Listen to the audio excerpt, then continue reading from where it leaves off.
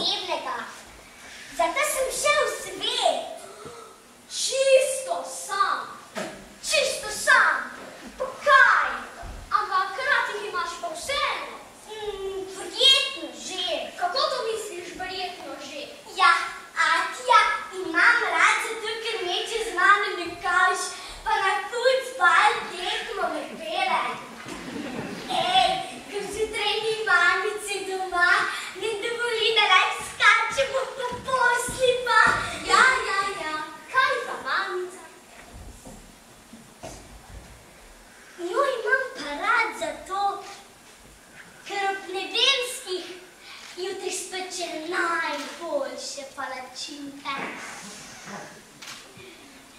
cela hiša diši.